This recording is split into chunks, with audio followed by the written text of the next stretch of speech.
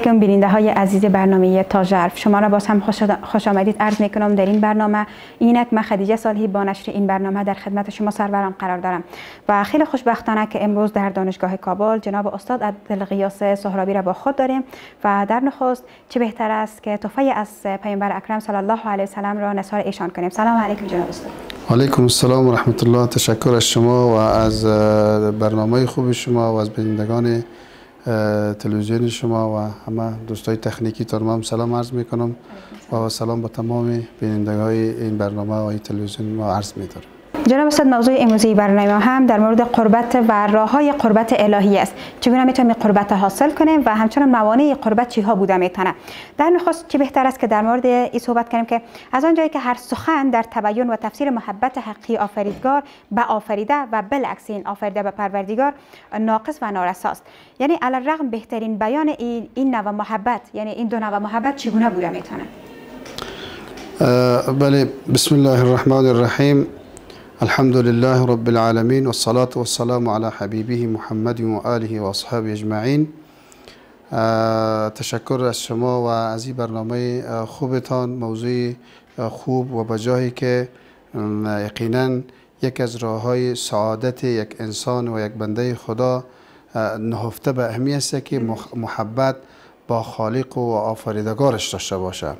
یعنی دوستی با خدا و محبت با خدا اساس سعادت زندگی یک انسان را تشکیل میده زیرا کسی که اما با کسی که همه خوبی ها و انعامات و فیوزاتی را به او ارزانی نموده اگر محبت و علاقه به او نداشته باشه یقینا این انسان از لحاظ منطق گویا که یک انسان ناسپاس و ناشکر گفته میشه. پس محبت و دوستی با خدا داشتن عشق و علاقه با خدا در پهلوی از که سعادت و نیکبختی انسان را به بار می آوره این در حقیقت یک نوع سپاسگزاری و شکرگزاری در برابر او کسی که بزرگترین نعمت ها را به او ارزانی کرده می باشد و این خاطر انسان باید همیشه در دستجوی راههایی که باعث قربت و نزدیکی با پروردگار و خالقش میشه باید بوده باشه.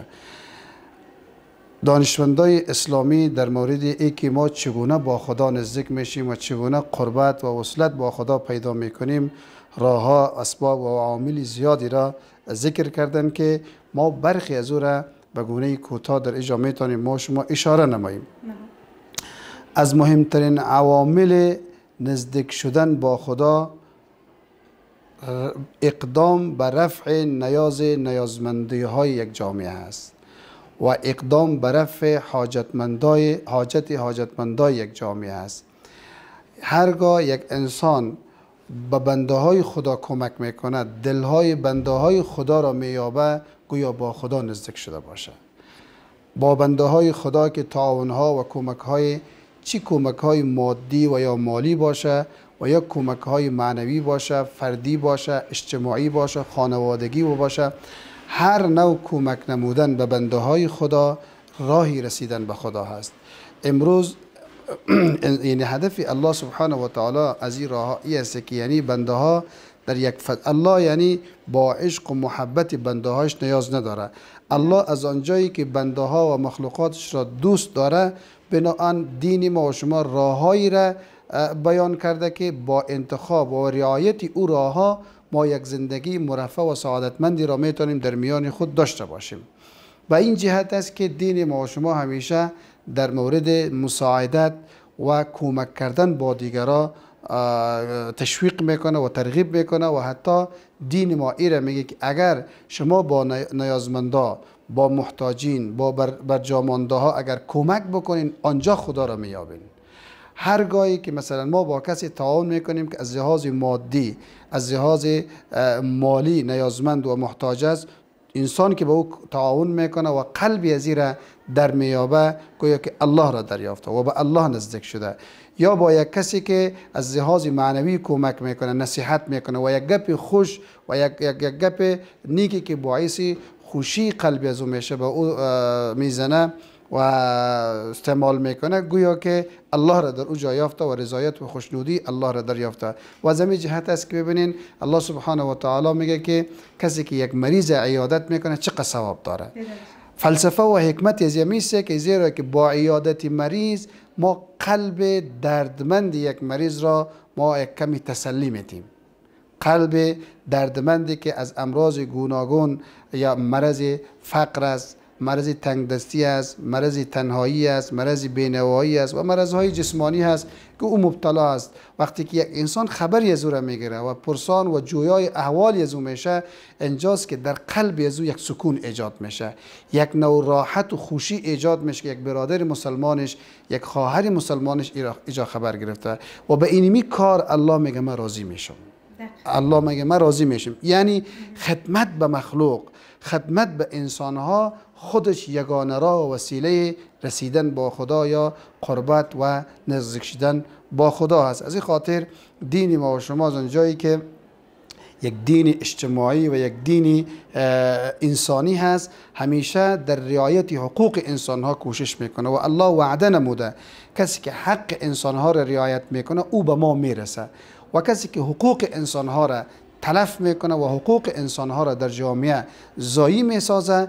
ما از اونها ناراض هستیم ما از اونها بیزار هستیم و الله وعده شدید و وعد وعید شدیدی را برای او کسایی که حقوق انسان ها را زایی می‌سازه و تلف می‌سازه وعده نموده و تعیین نموده. و از خاطر کسایی که در جامعه جنایت می‌کنن کسایی که دلهای انسان ها را آزار میتن کسایی که مردم ها را به سوگ و ماتم می نشانند گویا الله از اونها ناراض است. الله میگه که این در حقیقت در تضاد با آنچه که ما با شما راهنمایی کردیم می باشه استاد خداوند متعال در حدیث قدسی میفرمایند که بنده ها با, با انجام دادن نوافل به من نزدیک و نزدیکتر می شود تا آنجا که من او را دوست می داشته باشم. خب از دید قرآن و حدیث این کلمه نوافل را می‌تونیم به کدام اعمال تفسیر موضوع خوبی را اشاره کردین. بله یکی از راه های قربت و نزدیک شدن به پروردگار که یکی ما گفتیم که رفع نیاز نیازمندی ها و حاجت حاجتمندا در جامعه هست و دومین راهی که دین ما برای رسیدن و به نزدیک شدن به پروردگار تعیین می‌کنه اون نماز است. نماز یعنی عجز و انکسار در برابر خالق و آفریدگار. نماز در حقیقت یعنی خشوع و خضوع و سجده نمودن به خالق پروردگار است.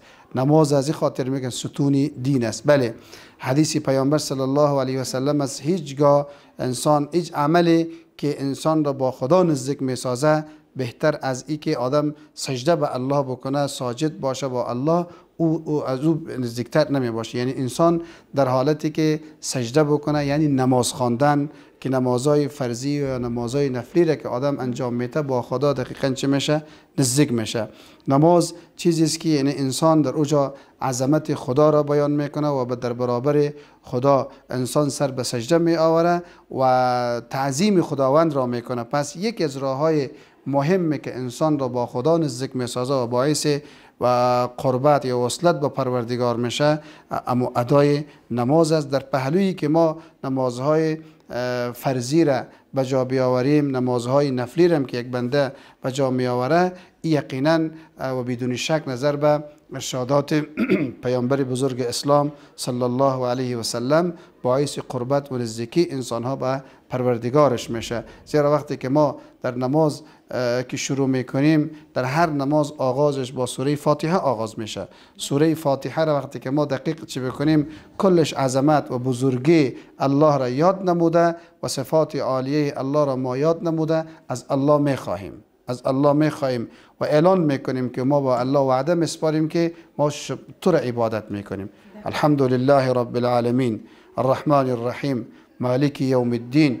تو مالک روز جزاستی بعد از این توصیفات و بیان این جایگاه عظیم و پروردگار یعنی یقینا کسی که رب العالمین باشه کسی که مالک روز جزا باشه کسی که رحمان رحیم باشه او مستحق عبادت است.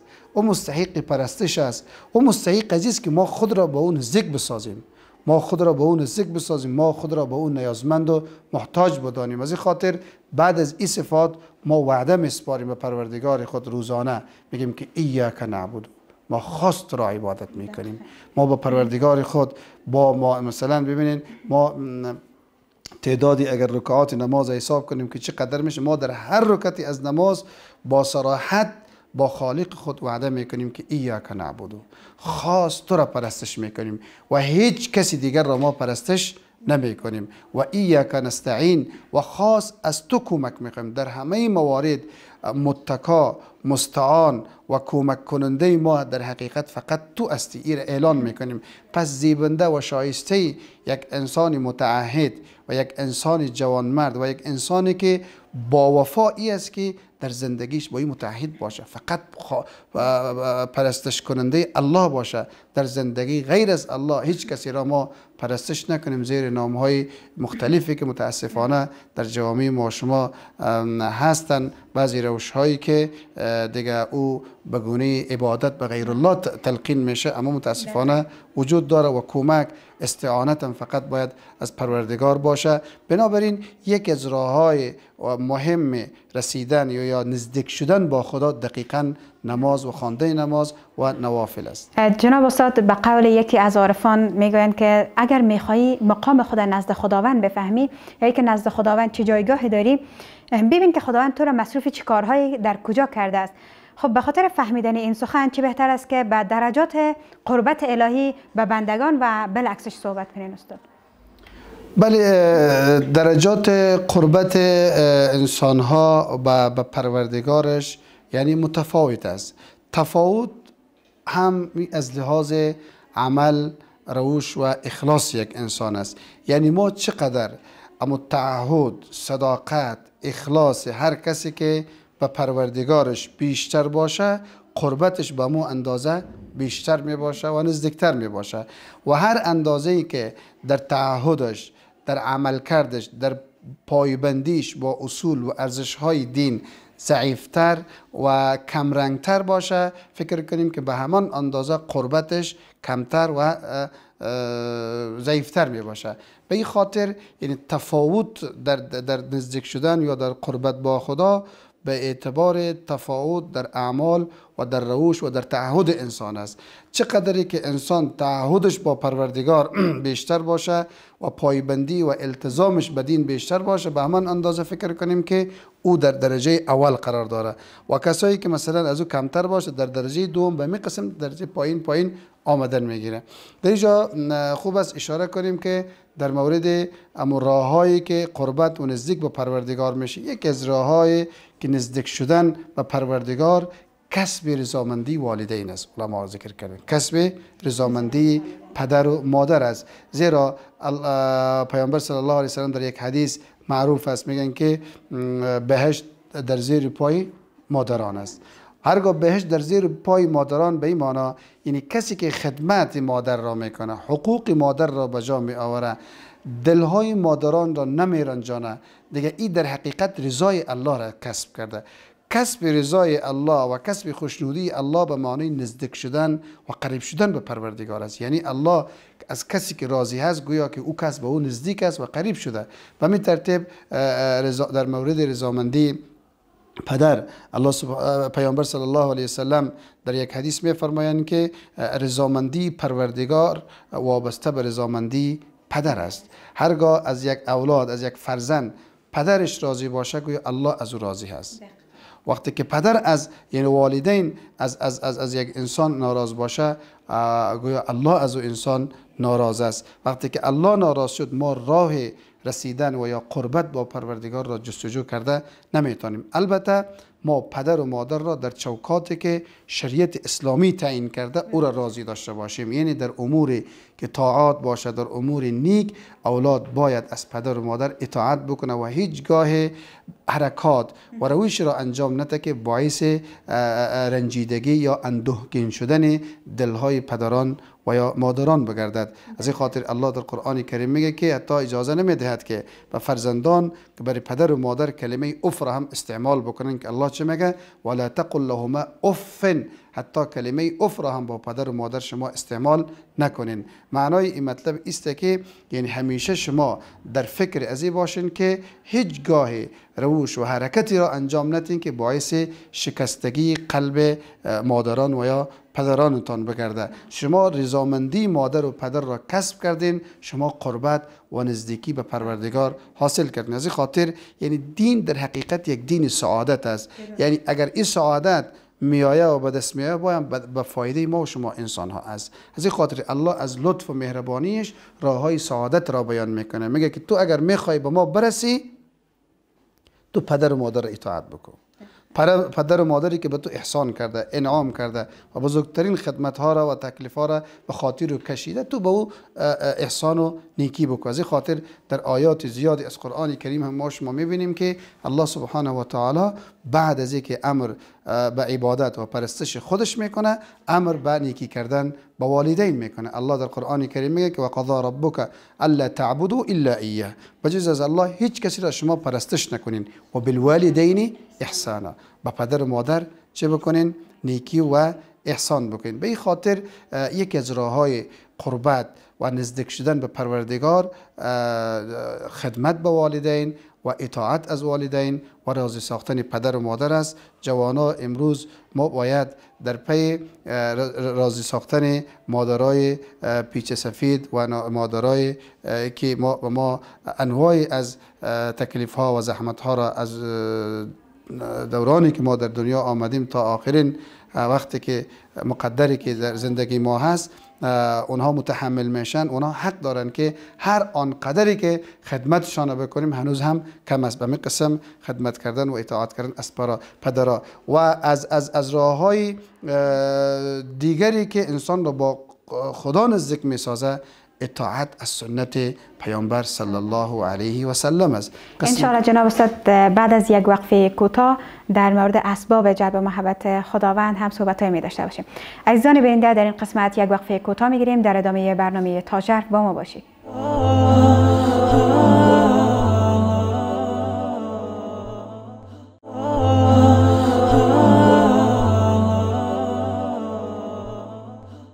خوش آمدین بیننده های عزیز و در ادامه بحث در مورد اسباب جلب محبت خداوند و قربت خداوند صحبت های خود ادامه میتیم با جناب استاد سهرابی. و همچنان جناب استاد خیلی ها بجاست که بعد از آشنایی با چنین موضوعی که ارزش خیلی فراوان داره در مورد اسباب راه های قربت الهی کم مفصل تر صحبت کنید استاد. بله از راه های رسیدن یا از راه های که انسان قربت الهی را می‌تونه که به دست بیاره یا به اون نزدیک شوه. راه های مهمترین راه که آدم را با الله نزدیک می‌سازه و باعث جلب رضایت الله میشه اخلاص در عمل است. ما هر کاری را که می‌کنیم در عمل خود اخلاص داشته باشیم و در در, در قبال او کار ما نیت نیک داشته باشیم. از دیدگاه اسلام و در نزد الله سبحانه و تعالی مهمترین چیزی که پیش الله ارزش داره نیت انسان است اخلاص انسان است. یک انسان کوچکترین کاری را که انجام داده باشه اما به نیت درست او پیش الله بسیار ارزش داره. اما یک انسان می‌بینیم بزرگترین کار را انجام داده ولو که ظاهرا عمل خوب است. یعنی مصرف کردن در راه الله یک آدم یک میلیون افغانی را مصرف می‌کنه. اما به خاطر ریا و نمود و سمعت نشان دادن. اما یک انسان دیگه ده افغانی را مصرف می‌کنه. اما به خاطر چی؟ به خاطر رضامندی الله به خاطر اخلاصی که با الله داره به او خاطر. پس در پیش در پیش الله عمومی ده افغانی که مصرف کرده این اعتبار داره نسبت به او کسی که یک میلیون افغانی را مصرف کرده. بنابراین مهمترین وسیله جلب رضایت الله اخلاص کردن در عمل. و دومین کاری که ما باعث جلب رضامندی الله میشه او عمل با مطابق شریعت باشه. عملی که ما انجام میتیم او عمل هر عمل همان عملی که در چوکات شریعت و در چارچوب دین اسلام باشه و آنچه که الله و رسولش گفته در او چارچوب باشه این باعث جلب رضایت و خوشنودی الله یا محبت الله میشه. طبعا ما شاید در ذهن ما سوال مطرح شود که کدام عمل؟ یعنی هر آن عملی که باعث خیر و منفعت به جامعه و انسانیت باشه او عملی نیک است. هر آن عملی که باعث خیر و منفعت و صلاح برای افراد جامعه برای خانواده های جامعه در بخش های مختلف جامعه داشته باشه او را ما عملی نیک میگیم. و هر آن عملی که در جامعه ضرر داشته باشه برای افراد برای جامعه یا در عرصه های مختلف زندگی او عمل مزیر واقع شود از دید اسلام و عمل عمل نادرست است. چرا دین در اصل دینی مسلحت است و دینی سعادت برای پیروانش است. روش هایی که مزیر واقع شود اسلام او را مردود می سازه بنابراین از وسایل مهمش نیت و عمل و هر آن عملی نیکی و پسندیده که یک انسان انجام میده او الله رضامندی و محبت الله را جلب می‌کنه به انسان. جناب استاد به عنوان آخرین سوال میشه در مورد عوامل و مواردی که ما از این قربت الهی دور بسازه صحبت کنین کدام عوامل باعث دور شدن ما از قربت الهی میشه؟ دقیقا مواردی را که ما شما برخی از مواردی که باعث قربت و نزدیکی با پروردگار میشه ذکر کردیم موارد زیادی وجود داره که ما شما برخیش ذکر کردیم. دقیقا پس اونمو مواردی که ذکر کردیم اگر او رعایت نشوه گویا که ما را از محبت و از رضامندی الله دور می سازد مثلا از اون جمله ما شما گفتیم که اقدام به رفع نیاز نیازمندا یا اقدام به مساعدت نیازمندا از عوامل جلب منفعت است. اما یک انسان آنقدر قسی القلب باشه آنقدر بخیل باشه هیچ آماده تعاون و دستگیری افراد جامعه نباشه اینجاست که الله میگه ما از ناراض هستیم. چرا؟ الله حکم می‌کنه. ما باید به بنده های الله با شیوه نیک و درست تعاون بکنیم. اروا تعاون نکردن به بنده های خدا در جامعه در محیطی که زندگی می‌کنه دست تعاون و همکاری رو نداشته باشه گویا که ما از محبت الله فاصله گرفتیم. و یک کسی که تاریک نماز است با نماز مثلا پایبندی نداره یا از روی شوق و رغبت و نشاط با نماز استاد نمیشه با سستی و تنبلی و تکاسلی. چی میشه؟ ای از راههایی است که ما را از الله و از رضایت الله دور می‌سازه. بنابراین بر جوانا هست که ما به هر اندازه ای که تعاون کرده می‌تونیم به همدیگر باید دست تعاون را باز داشته باشیم. امروز جامعه ما شما نسبت به هر زمان گذشته با کمک همدیگر نیاز داره. ما باید از طریق این تعاون رضامندی الله را کسب بکنیم و پایبند نماز باشیم در اعمال و روشهای خود اخلاص خوب داشته باشیم و همچنان کسی که نافرمانی از والدین می‌کنه بازم از رضایت الله و محبت الله فاصله می‌گیره. بناهن ما باید در خدمت والدین پدر و مادری که بزرگترین محسن بعد از الله هست با اونا باشیم. ان الله رحمت خدا و اما فیوزات الهی در ابعاد مختلف زندگی ما ان الله سرازیر میشه. با امید یمیم که در زندگی فردی و جامعه ما و در وطن ما قسم رحمت های الهی جای خشونت و بدبختی را پر بسازه. دیگه ای از وسایلی هست که یعنی عمل نکردن توجه نکردن به ارزش های دین ما را از محبت الله فاصله دار می سازه خیلی سپاس جناب استاد از که به ما فرصت دادین تا یک برنامه با شما داشته باشیم و ان شاء الله بیننده های عزیزم از سخنهای شما استفاده کرده باشن قسمه که ما استفاده کردیم و همچنان در ادامه برنامه تا با ما باشین و حالا هم یک میان برنامه می‌گیریم. دوباره برمیگردیم. باز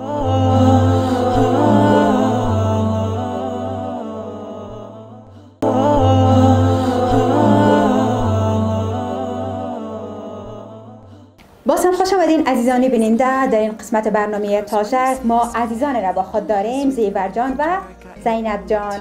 و اینها شاگردای خیلی دایق دخترک خیلی مقبول مثل شما هستند شما هم بیننده برنامه تاجر باشین. امروز ما یک قصه که خیلی جالب را با هم یک جا می‌خوانیم و می‌بینیم که زینب جان و زیور جان از این داستان چی پند می‌گیرن. نامک شما می‌پرسیم نامک چی است؟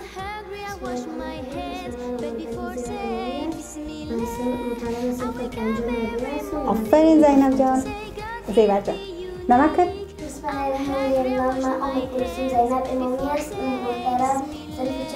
آفرین.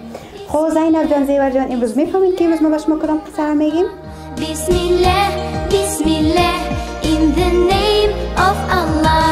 بسم الله بسم الله بسم الله و نود الله بسم الله بسم الله in the name of Allah. خب. از کتاب کلید گنج قصه اولش ما یک داستان بسیار جالب است. در مورد یک نفر به خون ضرورت می داشته باشه. حالا می بینیم که چه قسم به خون ضرورت داره و در این داستان چی پند است و محاسه است.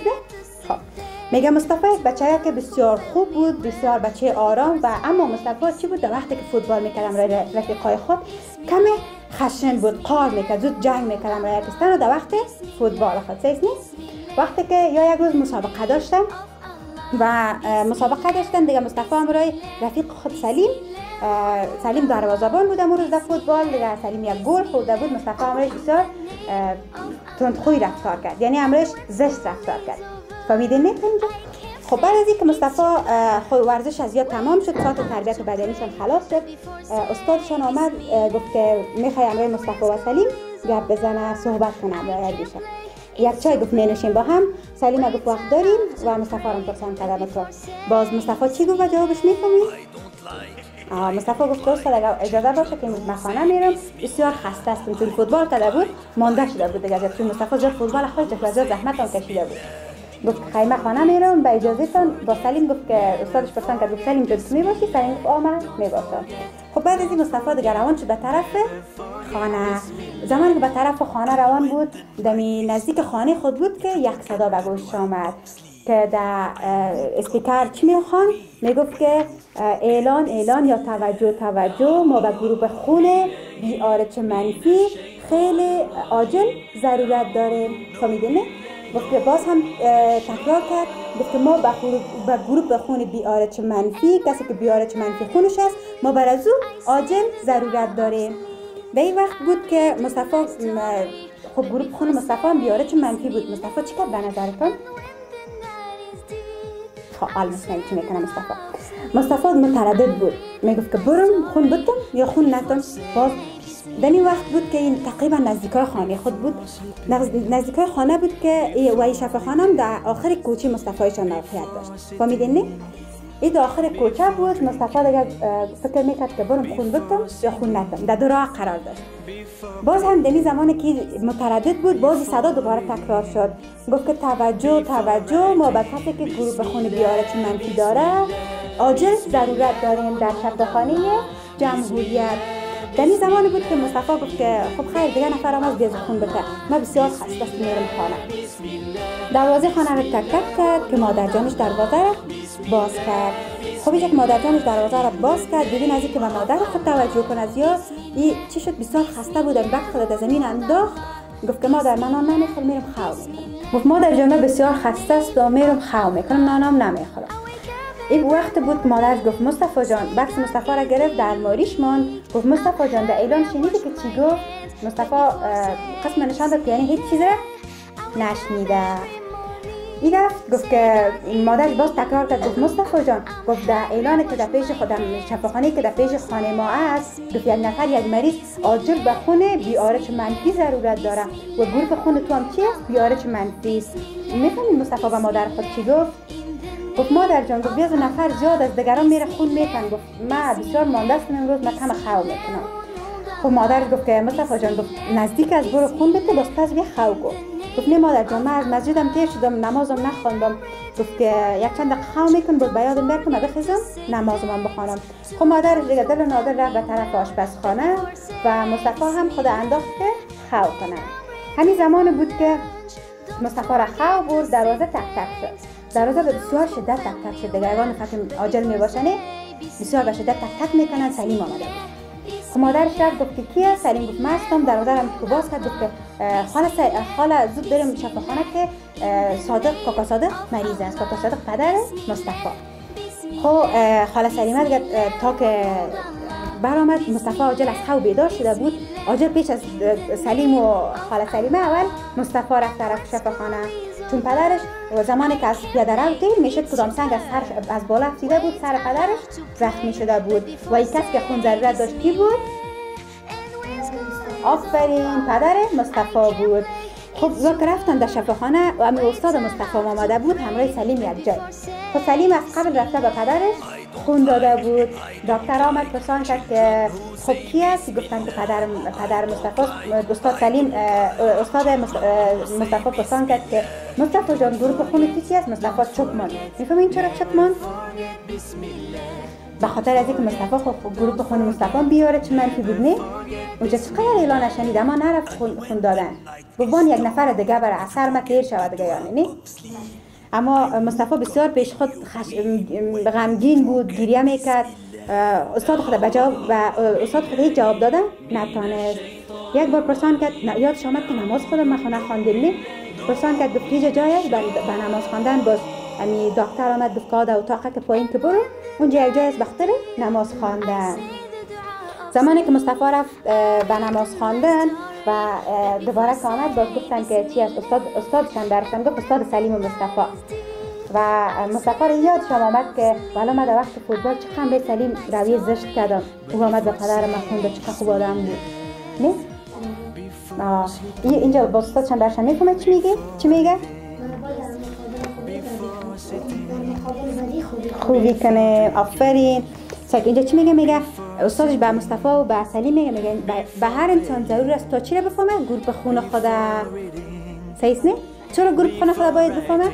یک جای کار میشه نه باید بره برای دیگرایی که ضرورت میشه کمک کنه. حالا پند از اینم می‌خوانیم که می‌خوانیم می‌خوایم بفهمیم که از این قسم چی می‌گیره؟ نه فکر کنه استاد باز تکرار می‌کنه میگه مصطفی برای چند از یعنی زمان که استاد از پرسان کرد مصطفی در اینجوری که خونه کی است؟ مصطفی چپ مان دیگه جواب دادن نتونست نه؟ بخاطر که شرمیده بود دیگه ما نامدم خون ندادم پدر خود ما مریض بود. چقدر سخت است یگان فیادتان بیاریم نال از داستان ما چی پند می‌گیریم اول به نظر شما؟ خب بسم الله الرحمن الرحیم. موازی پند گرفتیم که باید با رفتار بدی خوبی بکنیم. آفرین. حرفای استاد و مادر پدر خود را گوش بکنیم. باید باید با دوستان صمیمی خود جنگ و جدل نکنیم تا دوست ما از ما خفه نشود و باید پدر وقت کسی که خون کار داشت باید برش خون بدهیم آفرین. خون خود دسته خون خود بشناسیم. آفرین. نام خدا زیور جان. زینب؟ بسم الله الرحمن الرحیم ما باید خون خدا بفهمیم یا آفرین. دیگه نباید با دوستان ما جنگ یا آفرین. به بدی رفتار کنیم. باید به کسی کمک کنیم. آفرین. باید به کسی روی زشت ندهیم. تا دوست ما از ما خفه میشه آفرین. فکر مصطفی در وقت فوتبال بسیار جنگ می‌کرد امروی رفیق های خود سلیم رفیق صمیمیش بود. اما شما امروی بیست فرند تان رفیق صمیمیتان چه قسم رفتار می‌کنین خوب می‌کنین دیگه. همیش باید ما تبسم داشته باشیم. همیش باید امروی دوستای خود روی صمیمی روی خوب داشته باشیم. و همیش به طرف یکی دیگه خود لبخند بزنیم. و داستانی هم بود که گروه خون خود باید بفهمیم. همیشه خوش خلق باشه و دیگه به گپ استاد و مادر خود گوش کنیم از این داستان ما این پنده گرفتیم که باید اول گروه خانه خود بفهمیم و بعد دوستای خود همیش باید رفتار خوب داشته باشیم رفتار بد نکنیم دیگه ای که به گپ استاد و مادر خود همیشه باید گوش کنیم و باز هم در قسمت آخر دستکایتان رو بلند کنین و همیشه ختم هر چیز باید به چی باشه؟ به دعا.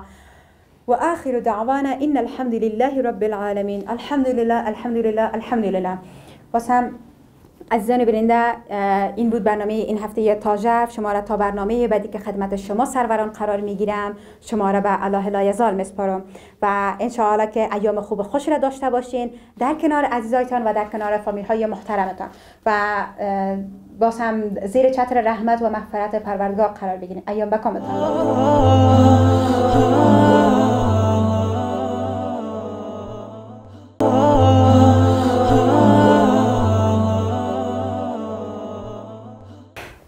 عزیزان شما رو باز هم در برنامه تاجر خوش آمدید عرض می کنم و در این قسمت برنامه ما بهترین کتاب ها و پرخانشترین کتاب های اسلامی را به شما به معرفی می‌گیریم و امروز یک کتاب بسیار جالب است که اکثریت ما اکثریت ما جوانان به او خیلی نیازمند هستیم. خب به نظر شما کدام کتاب باشه؟ یک حدس بزنید خب من معرفی می‌کنم. کتاب ناامید مشو به نظرتون چه محتویات داشته باشه یک کتاب؟ خب میایم فهرست چه می‌خوانیم در نخست باید در خود صفحه کتاب یک شعر خیلی جالب است می‌خوانیم. به هنگام سختی ناامید مشو که از ابر بارد ابر سپید. چقدر جالب است. اکثریت ما امروز زمانی که دل ما می‌گیره بعضی از در در مکتب بخوایم اول نمره شویم اول نمره نشویم. یا که مثلا درس می‌خوانیم نمره پوره را گرفتن نمی‌تونیم زود ناامید میشیم و شکست قبول می‌کنیم. بیایم کتاب بخوانیم ببینیم به اهداف خود ایستادگی بیشتر کنیم و همچنان به ما یک توانایی و قوت دیگه میبخشه فهرست کتاب می‌خوانم ان که خیلی موضوعات جالب داره و به شما عزیزان با شما بیننده های عزیز و بالخصوص برنامه تاجر پیشنهاد می‌کنم تا هر کدام شما این کتاب باید در کتابخانه کوچکتان در خانه هایتان داشته باشین. خب فهرست کتاب من همیشه نمی‌خوام فقط امو قسمت های خیلی جالب شما به شما و خانش می‌گیرم. در نخست لازم است که بفهمیم که ناامیدی از نظر قرآن چگونه است. و همچنان حکم شرعی ناامیدی علتهای ناامیدی و انواع ناامیدی ناامیدی به چند نوع است. و همچنان دلسردی خدا با ماست یک موضوع خیلی جالب است که انشاءالله که اگر کتاب به دستان قرار گرفت حتما موضوعات چه مطالعه کنین. و همچنان گشایش پس از سختی دعوت به اندیشیدن گفتگو رهنمایی های قرآن رحمت خداوند و همچنان مصیبت و سجده افراد با همت کیها هستند؟ بیاین در این کتاب دریابید. خب جدایی دیدار و همچنان درنگ شاعرانه هست که در مورد اشعار ناامیدی و همچنان به توانایی هایت باور داشته باش. خیلی داستان جالب است. به توانایی های خودت باور کن دیگه. خب پافشاری و برنامه ریزی چقدر به امیدوار بودن تو تأثیر گذار است؟ امید باز میگردد. آمرزش خداوند میان امید و ناامیدی و جوانان و باز هم درنگ شاعرانه و انسان و ناانسانی و همچنان امید و بردباری چه بسا یک زیان سودمند شاید باشه. همین گونه که ما میگیم پس از هر ابر سیاه یا پس از هر شب تاریک یک صبح روشن است. خب قصه های داستان در مورد پیامبران هم است از اصحاب هم است از گذشتگان ما هم از داستان ها است که انشاءالله خود شما این کتاب مطالعه کنین و میاییم فقط یک چند قسمت از این کتاب به خانش می‌گیریم. فقط چند قسمت از به توانی هایت باور داشته باشه به شما عزیزان به خانش می‌گیرم. امیدوار هستم که انشاءالله شما هم این کتاب مطالعه کنین و فقط با مطالعه و فقط با درس است که همه زندگی انسان می‌تونه دیگرگون شود. و اما اگر غیر این دو چیز ما بتانیم که خوشبختی را دنبال خوشبختی بگردیم مطمئن هستم که محال است و خیال است. یعنی بدون این دو یعنی بدون کتاب و بدون فرهنگ مطالعه به هیچ جایی نخواهیم رسید. خب از یکی از دانشمندان بزرگ میگن که پاستور می‌گوید اجازه بده تا رازی که سبب شد به هدفم برسم رو برایت بازگو کنم. تنها نکته قوت من در پایداری و پافشاری من نهفته است. همچنان از دانشمند ریاضی گفته است دروازه کشف رخدادهای تازه در علوم طبیعی بر روی انسانهای کنذهنی که از بردباری و مهارت دستی و باریکبینی برخوردار است گشوده است. و همچنان ویلیام جیمز که اکثر ما به نامش آشنایی داریم چی میگه در این مورد؟ پدر روانشناس جدید می‌گوید تفاوت میان انسانهای نابغه و انسانهای معمولی به ویژگی یا استعداد ذهنیشان باز میگردد. ویلیام جیمز که اکثر ما با نامش آشنایی داریم در مورد بتوانی هایت باور داشته باش چی میگه؟ پدر روانشناسی جدید می‌گوید تفاوت میان انسانهای نابغه و دیگر انسانهای معمولی به ویژگی یا استعدادهای ذهنیشان وابسته نیست. بلکه وابسته به موضوع ها و هدف است که برای آن تلاش می کنند و, و میزان تمرکزی و میزان تمرکزی وابسته است که می تواند به آن دست یابد. آوردن که محمد فاتح بر روی نقشه های جنگی به خواب می‌رفت. در آن حال که برای جنگ قسطنطنیه برنامه ریزی می‌کرد. ببینید انسان ها چقدر زحمت می‌کشن و تا زحمت نباشه مطمئن هستم که هیچ وقت انسان به راحتی نمی‌رسه خب عزیزان بیننده شما هم باز هم کتاب به معرفی می‌گیرم. کتاب از جمله کتاب های خیلی پرخانش است از منبع اهل سنت و جماعت و باز هم شما رو به الله العظام میسپارم. با ختم این قسمت ربنا آتنا فی الدنیا حسنه و فی الاخره حسنه و قنا عذاب النار. باز هم شکرگزار هستیم. خداوند متعال برای هر نعمت بخاطر نعمت اسلام و به خاطر نعمت صحت و به خاطر نعمت که همه همه چیز داریم الحمدلله. و خداوند متعال همه ما را زیر چتر رحمت و مغفرت خود قرار بده و به شما عزیزای ما و شما بیننده های برنامه تا شرف ایام خوب خوش خواهان هستم. تا برنامه دیگه خدمت شما عزیزان قرار می‌گیرم. شما را به الله لا یزال مسپارم ایام مکامتان بود